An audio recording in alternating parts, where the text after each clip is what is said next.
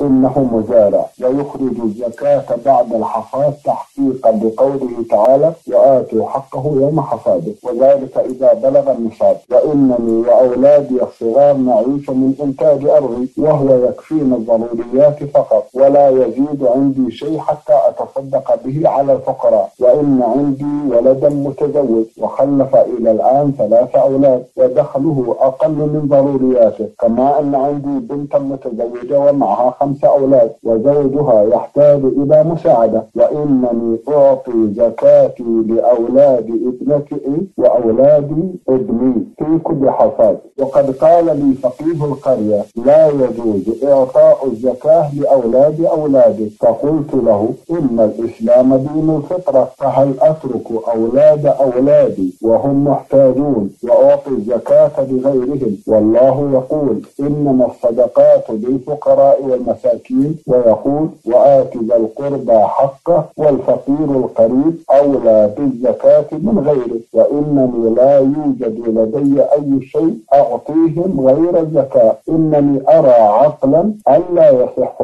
أن أترك أولادي في جوع وعري وأعطي زكاتي لغيرهم. هذه ملخص في رسالة قريبي. أرجو أن توجهوا وتوجهوا أمثاله حول هذا الموضوع. جزاكم الله خيرا. أما ما ذكرته من اهتمامك بإخراج الزكاة فهذا أمر تشكر عليه وهذا أمر واجب يرجى لك فيه الأجر العظيم من الله سبحانه وتعالى. فإن الاهتمام بالزكاة واجب على المسلم الاهتمام بالصلاة لأن الزكاة قرينة الصلاة في كتاب الله عز وجل. أما ما ذكرته من أنك تدفع زكاة زرعك إلى إلى أولاد ابنك الفقير تدفعها أيضا إلى أولاد بناتك الفقراء هذا فيه تفصيل. أما دفعها إلى أولاد ابنك هذا لا يجوز لأن دفع الزكاة لا يجوز لفرع الإنسان ولا لأصوله يعني لا يجوز لأولاده ولا لآبائه وأجداده. لا يجوز دفع الزكاة للفرع ولا ولا للاصل، الفقهاء يقولون لا يجوز دفعها لعمودي النسب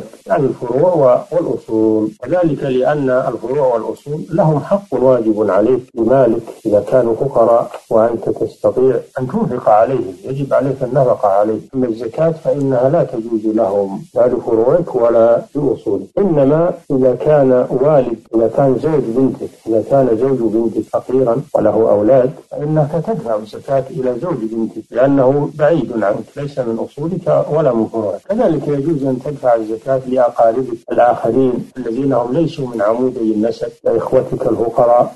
أخواتك فقيرات وأبناء عمك وعماتك وغير ذلك. ادفعها لأقاربك الذين ليسوا من عمودي النسب. أما عمود النسب فلا يجوز لك دفعها إليهم كما سبق. نعم. جزاكم الله خيرا وأحسن إليكم. هذه المناقشة التي يناقشها شيخ صالح ويقول إن هذا الأمر لا يتفق مع العقل وما أشبه ذلك. هل من تعليق حول هذه الأفكار؟ جزاكم الله خيرا. نعم هذا من المؤاخذات. نعم.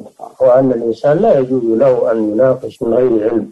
ما دام أن الفقيه ذكر لك أن هذا لا يجوز وهو فقيه وأنت عامي الواجب عليك الامتثال ترك المناقش والعقل ليس له دخل في أمور الشرع. إنما يرجع في أمور الشرع والحلال والحرام والواجب والمستحب والمحرم وغير ذلك والمكروه وغير ذلك من أحكام الدين. هذا يرجع فيه إلى إلى نصوص الكتاب والسنة وإلى أهل العلم الذين يفهمون هذه النصوص. أما العامي فلا يجوز له أن يستحسن بعقله وأن يرى بعقله. وقولك إن الله تعالى يقول وآتي القربى حقه هذا الحق ليس هو الزكاة وإنما له حق واجب عليك بالصلة. واجب عليك الصلة والتصدق عليه إذا كان محتاجا. هذا هو الحق الذي يجب له عليه. صلة القرابة صلة الرحم. جزاكم الله خيرا وأحسن إليكم. إذا على الإنسان إذا ما أفتاه عالم أن يستسلم لذلك الأمر دون أن يناقش ولا سيما إذا كان المفتي عالما بأصول الشريعة. نعم وكذلك. الله تعالى يقول فاسألوا أهل الذكر إن كنتم لا تعلمون.